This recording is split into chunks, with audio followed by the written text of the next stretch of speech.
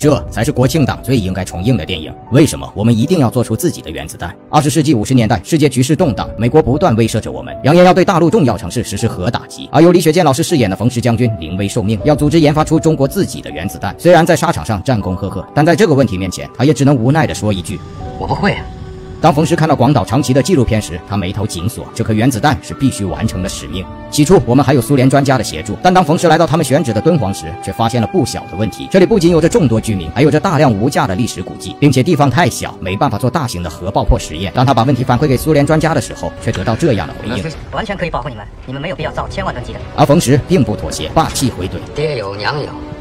不如自己有。所以向上级汇报批准后，冯石带队继续向西进发，前往那个被专家称为“死亡之海”的地方——罗布泊。但这里可不再是简简单单的戈壁滩，而是更加恶劣的生命禁区。派遣来的战士们也有刚从战场退下来就直奔于此的。就在这样艰苦的条件下长途跋涉，甚至有战士不幸牺牲在路上。终于，他们在罗布泊找到了水源，在此打桩定位，开始建立核试验基地。而就在大家众志成城的时候，苏联却中断协议，从北京撤走了专家，甚至还烧毁了所有文件。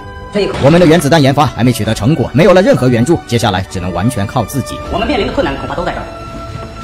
他就是领导原子弹研发的物理专家，由李幼斌老师饰演的陆光达博士。在美国麻省理工毕业后，就立即返回了祖国。现在更加困难的是，计算机只有一台，有大量数据也只能通过手摇计算机和算盘来计算。就这样，科研人员们硬是啃着馒头，用最土的办法展开工作。罗布泊这边，冯氏将军也动员着战士们在沙漠中开荒建设。但很快，问题又来了。北京的科研人员们一遍遍算出的结果，都和老李从火中拯救下来的资料数据对不上号。陆光达看了之后，仔细一想，万一他们错了。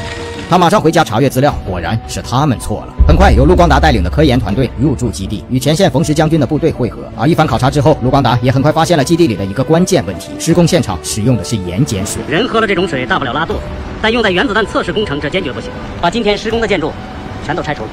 没办法，冯石只好连夜派出车队，开往几百公里外的生活区采集淡水。终于，经过一番苦战，在一九六一年夏天，原子弹爆轰实验成功，实现了阶段性进展。研究还在继续，但紧接着，美国又开始步步紧逼，企图把中国的核工业消灭在摇篮里。时间压力巨大，中央决定，一九六四年底爆炸我国第一颗原子弹。所然而，最艰难的日子也在这时候来了，全国出现了大面积饥荒，而补给粮食的车队也堵在了半路上。基地里上万名战士和科研人员已经快吃不上饭了。